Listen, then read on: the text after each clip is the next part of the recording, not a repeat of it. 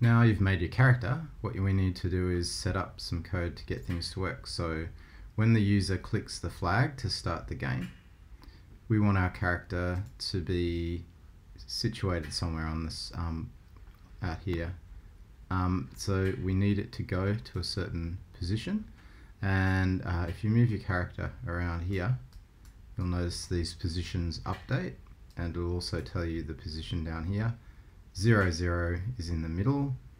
So it's using XY coordinates. So X is going left and right, Y is going up and down. So we're going to just get that character to go to 0, 0. And we're going to get another one of those um, events and that will be a key. So we're going to get W ASD to control a character and make it go up. So X, Y go up and down.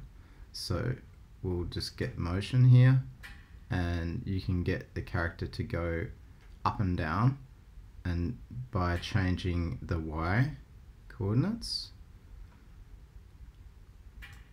and so Y positive is up, Y negative is down.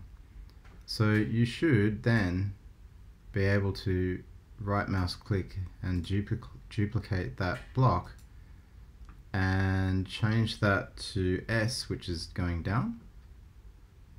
So just go and then same thing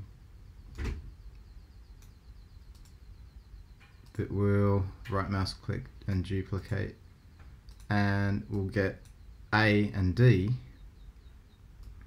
We'll get rid of those Y's because we want that to be on the X axis left and right. So X axis X axis.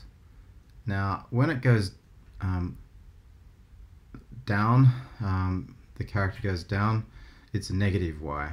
So we'll just make that minus 10 now you can change the increments, like how far.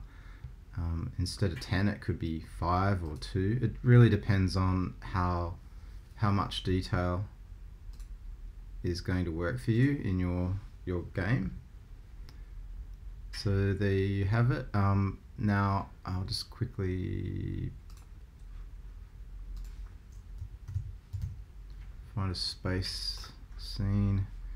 Now our character here, um, when we hit the flag, is going to the center and when I hit W, it goes up, D, oops, oops, so I didn't change those. S, A to the left, good. So hit the flag and it should just go left, right, up, down.